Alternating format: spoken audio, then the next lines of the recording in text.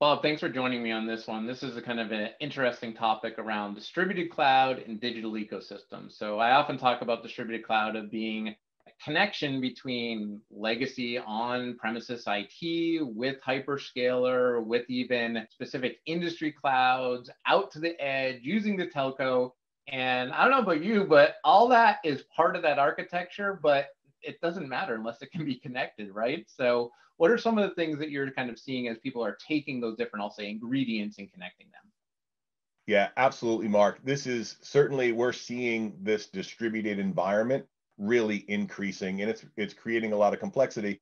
But like you said, the most important piece, and it's really you know covering networking like I do, it's really encouraging because now the network is a lot more relevant because all of these places need to be connected not only from location to location, application to application, but also users to those locations as well, right?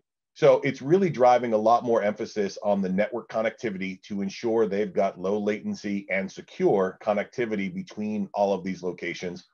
And I think another big thing that's really interesting when we think about this new ecosystem, for a long time, 4G has been used as backup technology for organizations at the edge. Hey, if I don't have a great landline, can I can I do a backup over wireless?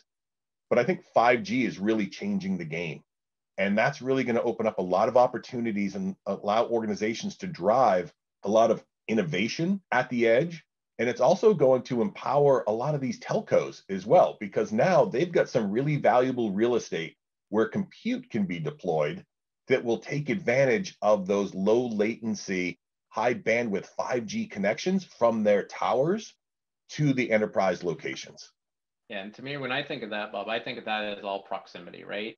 ultimately it's about being able to put proximity of the end user and that application with what that application is doing. If you can cut down on, I'll say, the distance of that and using different uh, networks, like you mentioned, as 5G is super important. I definitely see kind of co-location facilities uh, having a role here as well. I see businesses taking their I'll say traditional systems, moving them inside a co-location facility just to have proximity to that hyperscaler cloud service, for example, as well. So I think we'll we'll kind of watch those with the research as well.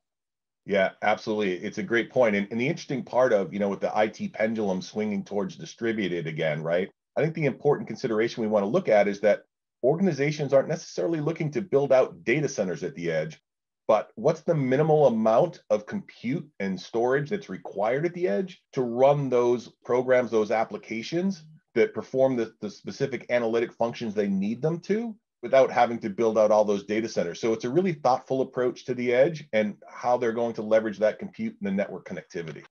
The four walls of the data center have really evaporated, right? Uh, or they're very transparent in many cases. So stay tuned and look at, we do more research in distributed cloud. Reach out to Bob and I if you're looking to learn more. And we'll talk more about some of the questions uh, that we're looking to answer, some of the challenges we see companies uh, have, and some where their priorities may be as well. So thanks for joining. And Bob, thanks for your time today as well.